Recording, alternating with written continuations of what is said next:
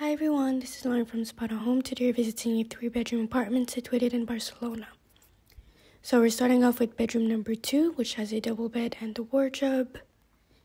And then here's a common area where you have desks if you need to, to work here. And then here's bedroom number one, which is the biggest one. So you have the double bed here, and so this bedroom includes its private bathroom.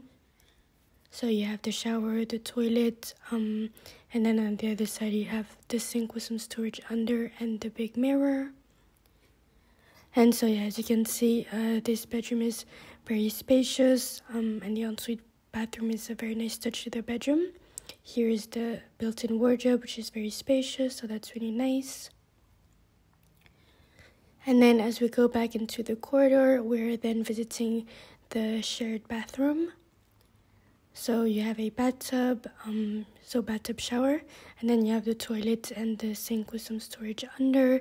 And so this bathroom is shared between bedroom two and bedroom three. And then here's the kitchen, which is fully equipped with everything you need to cook and eat. You also have a dishwasher, um, the stove, and the washing machine and a clothes dryer. And then here's bedroom number three. You also have a built in wardrobe, you have the desk, and this time you have two single beds.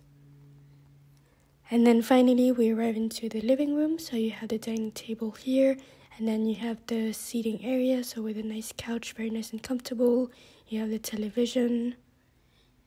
And so yeah, this is the overall view of the living room. As you can see, it's pretty spacious and receives a lot of natural light, so that's really nice.